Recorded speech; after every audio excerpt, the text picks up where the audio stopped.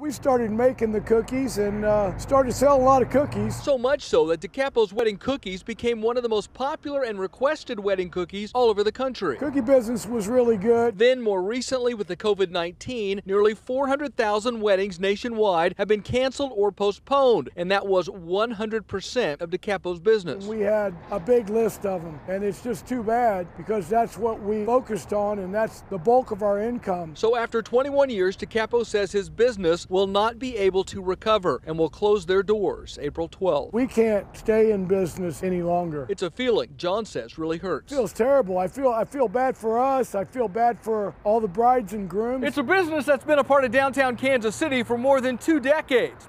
John says he feels the worst for his six employees, but says he remains optimistic about the future. DiCapo Foods will now shift and focus on the sandwich and pizza business, but he admits he'll always have a sweet tooth for the wedding cookies. A lot of our clientele are older, so we'll be delivering them free to them. In Kansas City, Alan Shope, KMBC 9 News.